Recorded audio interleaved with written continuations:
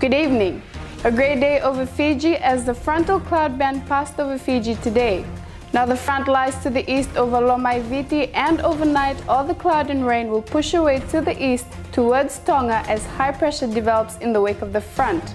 Some handy rain over the west last night and at first this morning with 7 millimeters at Nadi and 6 millimeters at the Penang Mill. Undu Point topped the list reporting 30 millimeters in the past 24 hours. A frontal cloud band is passing over Fiji right now, bringing some rain to most parts of the group. Winds have shifted southwesterly about Nadi and Sigatoka now as the front moves eastward, and the freshening southwest to southerly wind flow will extend to the east by tonight, pushing the cloud and rain away to the east. The wind chart shows northerly winds about the east of Fiji, shifting westerly ahead of the front, then southwest to southerly behind the front.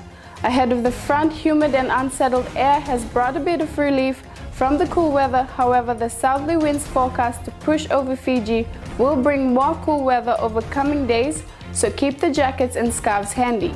Clouds and showers clearing overnight, then fine, mild and sunny tomorrow with freshening southerly winds. Temperatures will be cooler tomorrow, especially tomorrow night.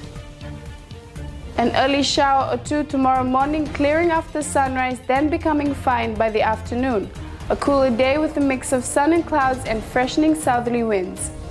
Cool and mostly cloudy in the morning about the central and eastern divisions in the morning with an early shower or two. Fine by the afternoon with a mix of sun and clouds and fresh southerly winds.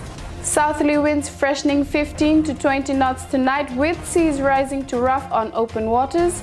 South to southeast swells initially around 1.5 meters will increase over coming days. Fine weather is set to return to Fiji now and the little rain received over the west will have to do for a while because there is no more in sight. The few millimeters received will help freshen up the gardens and hopefully put a little bit of rain in the water tank, but it is not going to reverse the many months of very dry weather. The good news is that the long weekend is looking fine and mostly sunny across Fiji if you are planning on traveling. Visit our website at www.nadraki.com or check out our Facebook page for more interesting weather information.